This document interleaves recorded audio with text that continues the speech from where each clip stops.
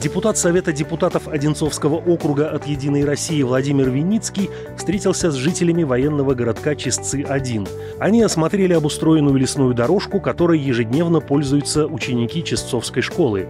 Мероприятие прошло в рамках обсуждения предварительных результатов реализации инициативы «Подмосковье. Территория перемен», в соответствии с которой выполнялись губернаторские проекты и наказы народной программы «Единой России». В соответствии с этими же программами депутат Совета депутатов от «Единой России» Михаил Солнцев встретился с жителями ТСН «Русь». Они обсудили ход социальной газификации.